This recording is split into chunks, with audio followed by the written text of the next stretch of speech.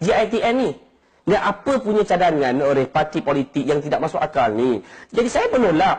Dan saya rasa hari ini, yang amat berhormat uh, Perdana Menteri Malaysia hari ini, tolong kaji. Saya melihat anda, beliau seorang yang bijak, seorang yang pandai.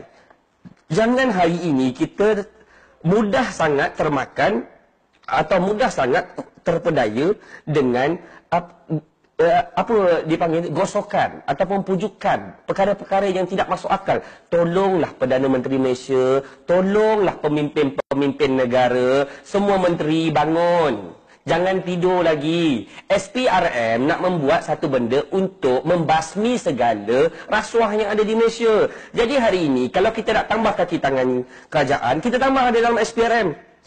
Kita tambahkan kaki tangan dalam SPRM dan kita buat sistem online yang di mana setiap daripada uh, pol, uh, di setiap balai polis uh, IPD yang besar-besar ni letakkan pegawai-pegawai SPRM letak di mana uh, uh, jabatan kerajaan seperti immigration. Kita letak di, uh, di dalam uh, agensi penguatkuasaan uh, apa ni uh, KPDNGK kita letak supaya rasuah tidak merebak. Ah, ini kita tambah GITN siapa yang nak kawal GITN ni? Adakah hari ini kita ni nak buat satu perubahan untuk menunjuk-nunjuk ataupun untuk kepentingan rakyat, untuk kebaikan rakyat? Jadi saya kadang-kadang jadi tak faham. Dan jangan lihat kita ni, Yusuf Hazmi ni, aktivis UTK ni, semboyan satu Malaysia ni, penggerak untuk membangkang segala apa yang kerajaan buat. Tapi saya rasa hari ini semakin lama saya tengok idea-idea yang dikeluarkan, ideologi yang dikeluarkan oleh parti politik ni tidak masuk akal. Dan hari ini penjawab awam yang melalui segala keperitan ini dan juga rakyat. Dan hari ini pemimpin, dengarlah wahai pemimpin saya nak suruh awak berdengar. Datuk Seri ke, Tan Sri ke, Senator ke, YB ke, bangun, bangun. Awak dah selesa sangat.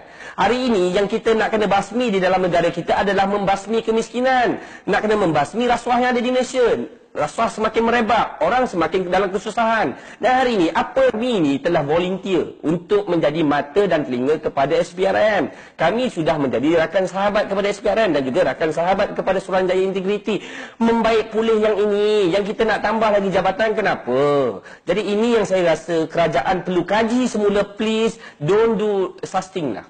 Jangan buat benda yang uh, mengerut. Buat benda yang mendatangkan asas. Jangan lagi merosakkan negara kita dengan pelbagai agenda-agenda politik yang hari ini kita rasa tak masuk akal. Jadi saya harap itu harus diperbetulkan dulu.